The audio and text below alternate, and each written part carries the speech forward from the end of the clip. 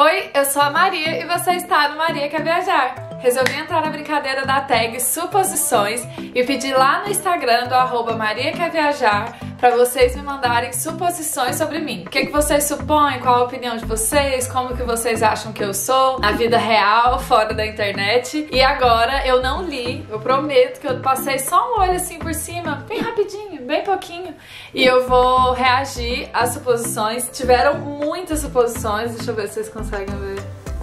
Tá vendo? E nossa, ainda tem muito mais. E, e aí eu vou ler algumas aqui pra vocês e vamos ver se vocês aceitaram, se vocês me conhecem. Será que vocês me conhecem de verdade? Gente, eu tô de pijama, tá? Isso aqui é um pijama que eu comprei lá na Penny de promoção. Foi 5 euros essa blusa e tem a calça também. E é super confortável. Já é uma suposição, não sei se vocês sabiam disso, mas todos os meus pijamas são de criança. É a vida, né? Então vamos começar.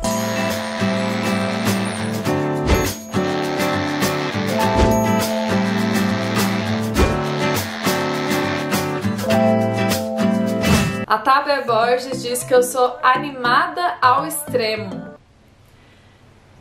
Sim, eu sou animada.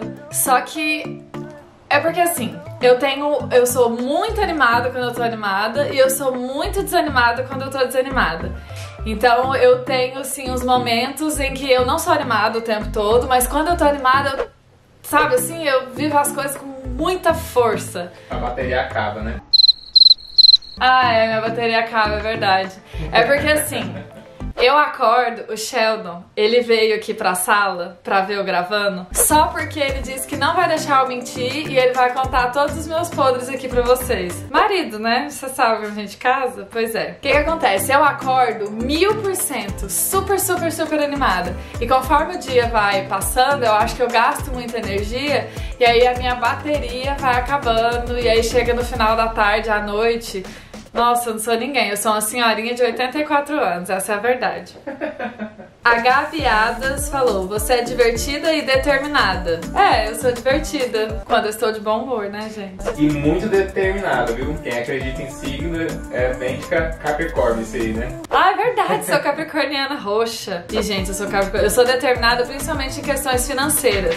Quando eu tenho uma meta, um objetivo, nossa, não gasto jeito nenhum até eu conseguir. É, a Mariel Balba disse chorona, sentimental, palhaça e atenciosa. Nossa, me conhece muito! Gente, eu sou muito chorona, muito, muito, muito. Eu choro desde uma propaganda sentimental, um seriado, um Friends. Como eu chorei no final de Friends. Eu sou muito assim. E às vezes eu queria segurar mais o choro em alguns momentos, sabe? Mas eu choro. Eu choro quando eu tô emocionada, eu choro de raiva, eu choro bastante. Eu tenho que segurar o choro. A não Thay... tem que segurar nada, não. Não tem. Gente, pode chorar, viu? É permitido. Ninguém tem que ficar sem chorar nada, não. Tá vendo? Por que, que eu sou chorona? A Thaís Andrade diz: descontraída, mas extremamente organizada. Ah, isso é um problema. Isso é um problema, por quê? Porque a minha, eu quero ser muito organizada, só que eu penso no mundo ideal, um mundo que não existe. E eu não consigo ser perfeita e organizada em tudo. E aí eu sofro, eu fico constantemente frustrada porque eu gostaria de ser mais organizada do que o que eu sou e vai virando uma. Nossa, é, isso é uma coisa que eu preciso melhorar. A Stanislau falou: alto astral full time. gente, a internet, ela está aqui para iludir a gente, não é mesmo? E eu procuro postar sempre que eu tô muito bem. Então acaba que vocês têm essa impressão de que eu sou super animada e super positiva o tempo todo. Mas eu tenho uns dias assim que eu me sinto bem mal e eu fico bem tristinha, mas é normal. A Faleiro Bertiaume. Ah, é a Rúbia do Sebrae! A Roxilene! A Roxilene, é mesmo! Ai, que saudade. Suponho que você não frequenta a igreja como antes. Eu lembro que você era super assídua. É verdade, eu não frequento mais a igreja como antes. Quando eu morava no Brasil, na verdade, isso foi bem antes de eu sair do Brasil, eu dei uma diminuída, assim, na o quanto eu frequentava a igreja. Eu era muito envolvida. Desde a minha adolescência, assim, até muitos anos, 24 anos, 23, 24 anos, eu era muito, muito, muito, muito envolvida. Tudo pra mim era igreja, eu fazia mil atividades dentro da igreja. Nossa, era uma loucura. Aí eu dei uma diminuída. Eu me lembro que você era da videira e conheceu o Sheldon lá. Não, não, não conheci o Sheldon lá. Eu conheci o Sheldon, pra quem não acompanha o canal, Não, Sheldon... deixa eu contar essa parte. Deixa eu contar, peraí, peraí. Peraí. Meu Deus! O que que tá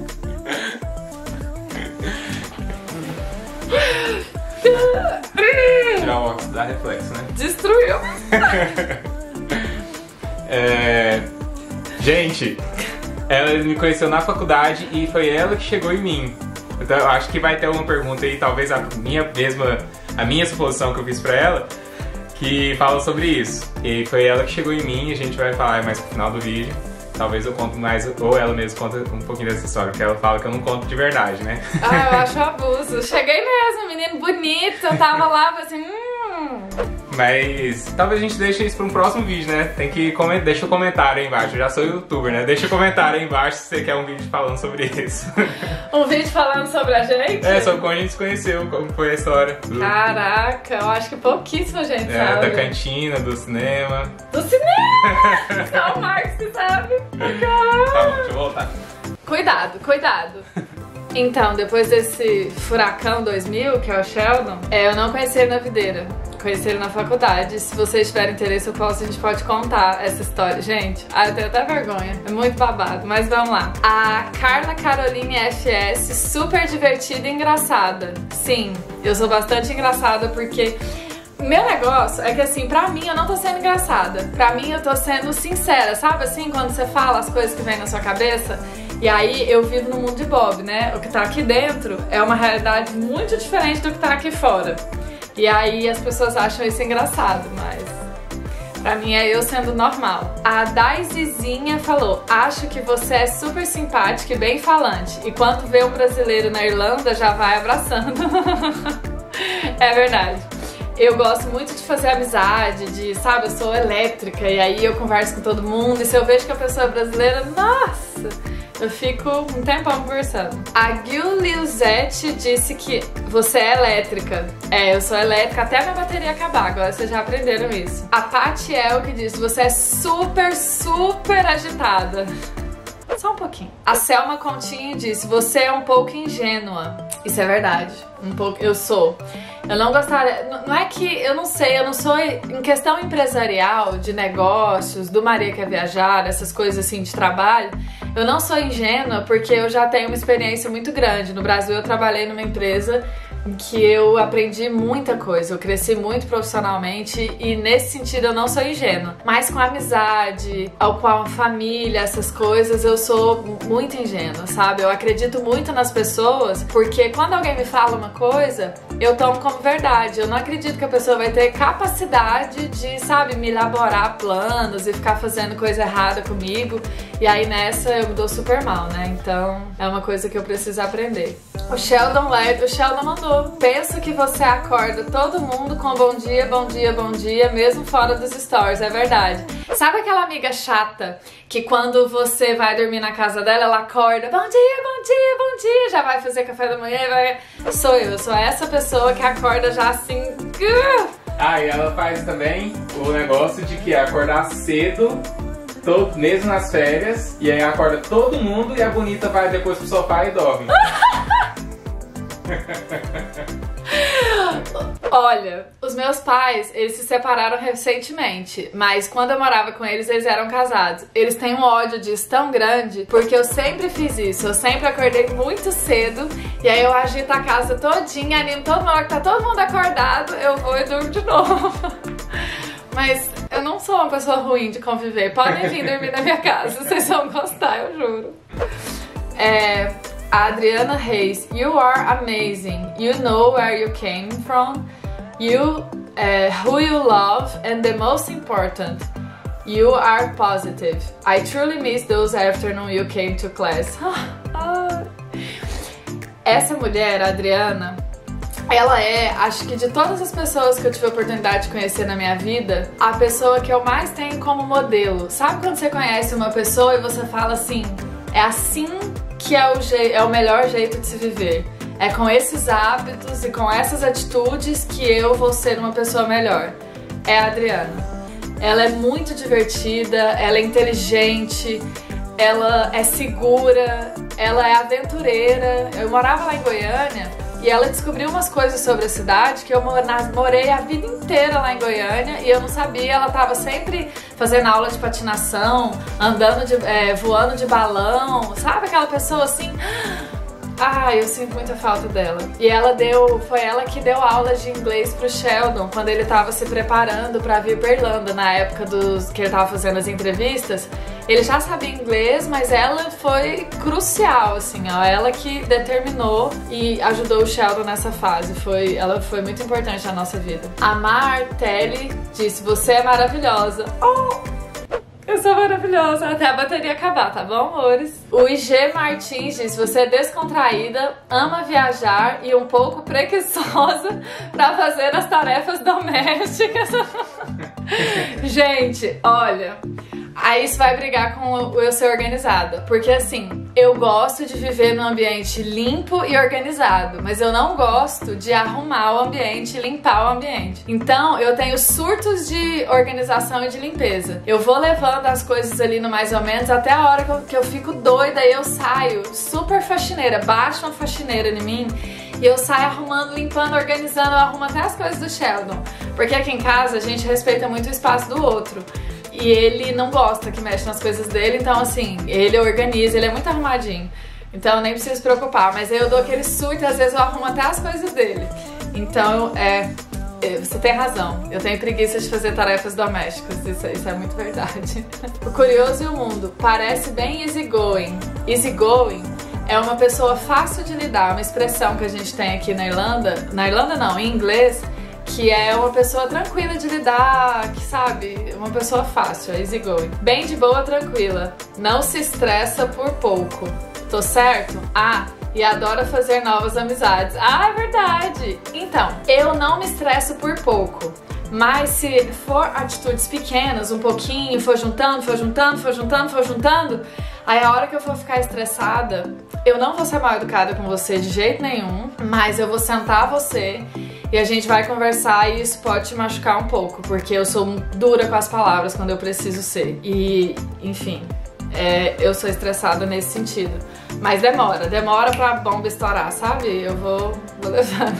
Meu marido que sabe, tadinho, que a bomba estoura com ele de vez em quando. A Artemissa Almeida você é metida. Olha, gente, a gente precisa falar sobre isso. Eu tenho cara de metida, eu ando igual uma pessoa metida, mas eu juro por Deus que eu não sou metida.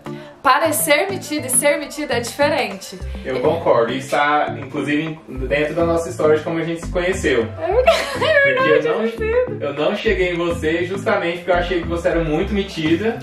E aí aconteceu o contrário, né? Você é tão o contrário de ser metida que você veio pra conversar comigo. É, mas assim, eu fui aquela menina que a vida toda, desde novinha na escola, quando eu fazia amizade com as pessoas e as pessoas me conheciam um pouco mais, começavam a gostar de mim, todo mundo falava: Nossa, eu pensava que você era metida, que você era nariz em pé, porque meu nariz é em pé mesmo, né, fisicamente. E eu pensava que isso e não sei o que, você é super de boa, jamais imaginei. Mas é, gente, eu tenho todo um estereótipo. Eu sou magra, alta, nariz empinado. E aí é difícil. Eu, eu sou mais caladinha, assim, até eu fazer amizade com o pessoal. Todo mundo tem essa impressão, mas eu juro que eu não sou metida. Quem já me parou na rua pra conversar comigo sabe tanto que eu sou de boa. A Nasci é passeio. Você parece ser muito alto astral. Daquelas pessoas que iluminam o ambiente quando chegam. Nossa, vocês têm essa impressão de mim? Que legal! É, eu sou alta astral, mas não sei se eu ilumino assim quando eu chego, não. Ilumina. mas você não vale. Não vale. Ah, o Rodolfo Acreis. Você era uma pessoa 100% tímida antes de lançar o Maria Quer Viajar. Não sei, eu, eu, eu, eu sou vista como tímida, assim? Eu, eu tenho alguns momentos tímidos? É, algumas vezes você é tímida, mas depende muito. Acho que no geral a sua personalidade é de uma pessoa não tímida. É, é mais. É, não, eu, eu não sei avaliar isso, não.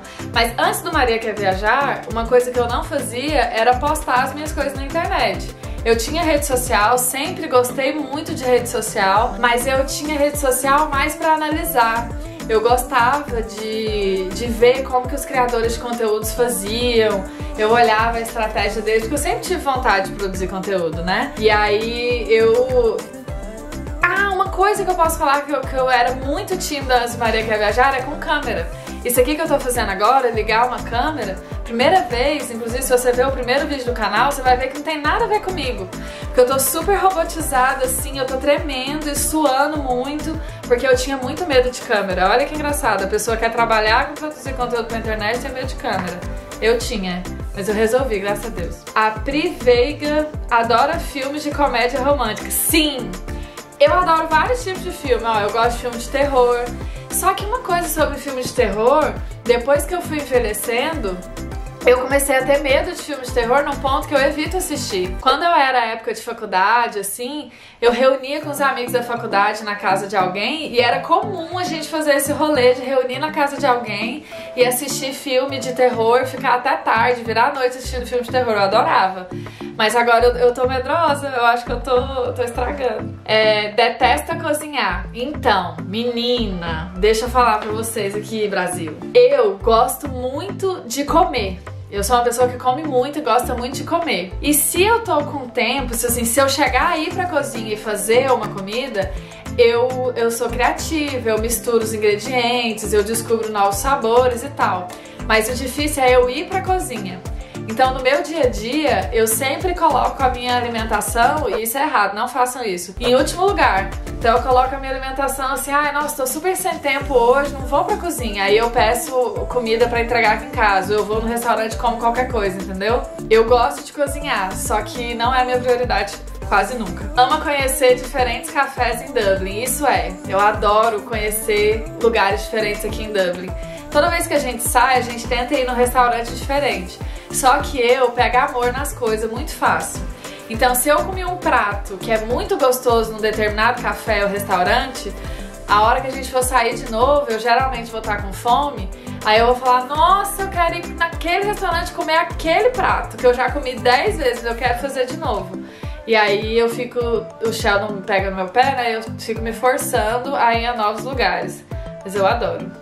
Nossa, eu amo. Adoro comprar uma brusinha nova. Gente, eu não posso ir na Pennies.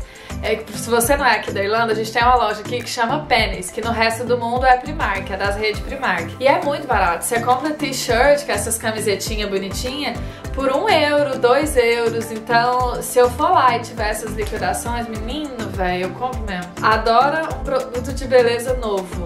Não, até que não. Eu demorei muito a, a parar e perceber que eu precisava prestar atenção na minha pele porque eu não fui uma adolescente que teve muita espinha. Então, assim, a minha pele sempre foi ok, e aí por causa disso eu nunca cuidei. Aí depois dos meus 25 que eu comecei a prestar atenção. Aí eu passo tônico, eu passo protetor solar, passo pro hidratante, passo todo o que eu preciso fazer. Mas assim, eu aprendi a usar aquilo ali e aquilo ali e eu não, fico mexendo, não. Morre de medo de barata e de lagartixa. Barata. Eu tenho mais nojo do que medo. Mas assim, eu tenho dificuldade de matar, porque eu tenho. Gente, é desleal, a bicha voa. Então eu tenho medo de ir ela voar em mim. Mas eu quero fazer um adendo nisso aí. Você tem medo de tudo que move e que você que não é familiar. Então se ventar e um, um fio estiver passando, o vento levar o fio, você já tem medo daquele fio, já é uma cobra já. É claro! Olha, eu tenho um probleminha com controle. Eu tenho que controlar as situações para me sentir confortável. Então, qualquer coisa que eu não entendi, que eu não reconheci, eu, eu vou ter medo, eu vou ficar preocupada. É uma criança, né, gente? Como vocês podem perceber, eu tenho 27 anos, mas eu sou uma criança. É, você gosta muito de pudim de leite condensado. Nossa! Pri Veiga Mate, você me conhece. É a minha sobremesa favorita, é pudim de leite condensado. É... Nossa, meu Deus do céu. E eu não gosto e dou o meu pra ela. e o Sheldon não gosta. E tem uma, uma história muito engraçada que eu conheci o Sheldon. A gente vai contar no vídeo, né? Que eu Tem uma história muito engraçada sobre a minha mãe ficar fazendo pudim pra agradar o Sheldon. Tadinho. E ele não gostava. Você prefere estar no aconchego do lar do que passar a noite na balada. Isso é verdade. Eu sou uma senhorinha de 84 anos, então assim, para eu ir para uma festa tem que ser uma comemoração, tem que ser um dia especial. Eu tenho amigos aqui na Irlanda que eles vão quarta-feira, terça-feira, assim, ó, meio da semana, eles vão pra balada e fica até 3, 4 horas da manhã. Eu não sou capaz. Eu não sou capaz. Eu preciso ter o, o próximo dia pra eu descansar e ser uma pessoa melhor. Entendeu? E envolve também o negócio da bateria, né? Que essa É. bateria acaba. É, as baladas é tudo de novo. Por que você não faz balada de manhã? Nossa! É. Se tivesse balada de manhã pra gente acordar e ir pra balada, eu ia ser DJ. Eu ia ser a mais legal da festa. Olha aí, vamos fazer uma festa de dia, gente. Vocês precisam aprender. É, eu te achava, a M Silva B. Eu te achava mega arrogante. Mas agora não mais. Eu até te dei oi na coxinharia. Gente, esse negócio do arrogante é engraçado. Eu não me vejo. É difícil a gente ver defeito na gente mesma. Mas eu não me vejo arrogante. Eu me acho ótima. Eu me acho uma pessoa ótima. E humilde, brincadeira. Mas mega romântico. Que bom, moça, que você mudou, né, o seu conceito sobre mim. Eu lembro do seu oi, eu lembro sim. É, Não posso fazer porque sou sua amiga, estou com saudade. Ah, não, vale, né? Eu acho que a gente acabou tem muita repetida falando da animação, do não sei o que, do elétrico, que é uma coisa que eu mostro muito na internet, aí eu não li pra gente não ficar aqui o resto da vida. Mas eu adorei! Ai, a gente podia fazer uma parte 2 deles fazendo suposições sobre o nosso relacionamento. É, a gente faz o vídeo de como a gente. É, encontrou. aí a gente conta a nossa história e vai falando se eles estão certos ou não. Nossa! Mas tem que ver se eles querem também, às vezes é interessante, né? É. Se for interessante pra vocês, deixem nos comentários que a gente faz. Eu acho que vai ser um vídeo divertido. E será que eles vão descobrir os podres da nossa história? Ai, gente, muito obrigada. Se inscreva no canal. Um beijo e até o próximo vídeo. Tchau!